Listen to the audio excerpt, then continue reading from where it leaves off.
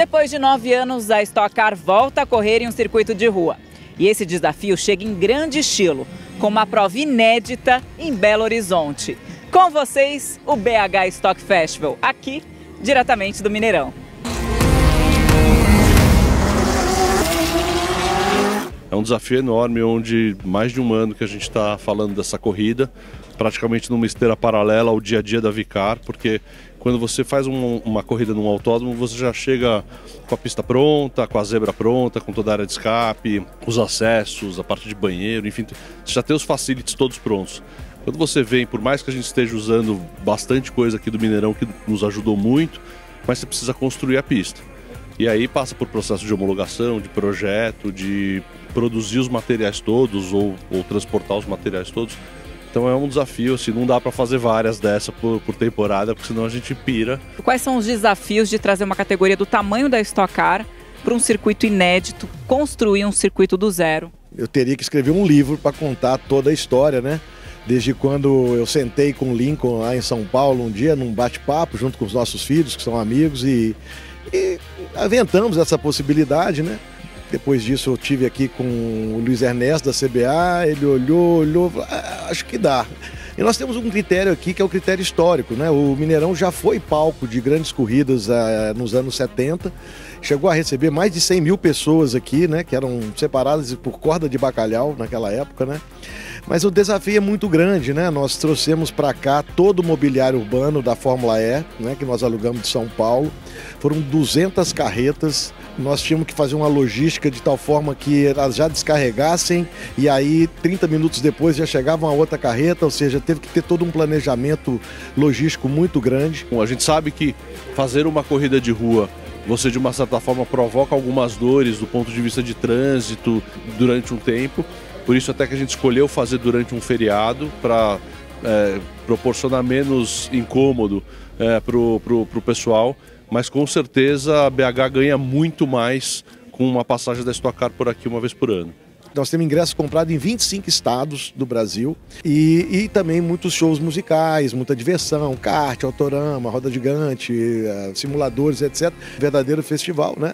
A nossa expectativa é de receber aí entre 55 a 60 mil pessoas nos quatro dias. E o desafio foi então de montar um circuito né, com todas as regras e imposições que não são fáceis de serem atendidas dentro de uma área é, urbana. Né? Então a adaptação disso aí é bem complexa, muito mais do que num autódromo. É, e, além disso, esse fator que ainda né, torna toda a coisa mais complexa, que é fazer o restante do festival com uma série de outros entretenimentos. Não, acho que todo mundo ganha, né? Primeiro, se os patrocinadores, a gente é, desbloqueou Minas, né? Então, a terceira maior economia do Brasil, sem dúvida nenhuma, eles têm grandes negócios aqui e, que, e que gostariam muito de utilizar a plataforma de relacionamento que a Stock Car proporciona, que o automobilismo proporciona, é, para fazer negócios e para ter esse ponto de contato com o pessoal da região. Então, isso foi primeiro muito bem aceito pelos nossos parceiros, os nossos patrocinadores. Os pilotos, sem dúvida nenhuma, tudo que você traz para eles de é, novidade né, e de, de, de, esportividade, sem dúvida também é uma coisa que, que coloca eles é, de uma forma muito positiva para a gente. E a, o estado e a cidade se beneficiam muito, né? Porque além da gente transmitir a corrida esse final de semana para mais de 170 países ao vivo em, em várias línguas, né? Então vamos levar Belo Horizonte para o mundo.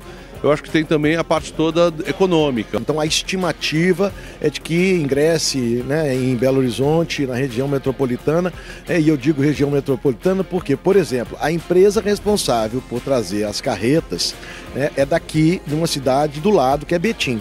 E não, não, vou aqui revelar números, mas o, o, valor é bastante elevado. Quem recolheu o ISS, ou seja, quem ganhou com isso, foi o município de Betim, que é onde essa empresa está sediada. Então, algumas cidades no entorno aqui é, com outras empresas que ali são sediadas, também recebem recursos é, interessantes por conta desse evento. Então a região metropolitana como todo deve receber aí, deve ter uma injeção de mais ou menos 200 a 300 milhões de reais. A prefeitura deve arrecadar algo em torno aí de 25 milhões de reais. A gente não pode esquecer que o ISS não é só sobre em cima dos ingressos que estão sendo vendidos e sobre alimentos e bebidas, ou seja, daquilo que está aqui dentro é, do, do, ambiente da, da, da Stock Car. Né? Nós temos hoje um setor hoteleiro extremamente aquecido, vários restaurantes aí faturando muito também, táxis, eh, veículos por aplicativo, né? Enfim, é uma infinidade de ambulantes, né? Que estão aí no entorno também, enfim.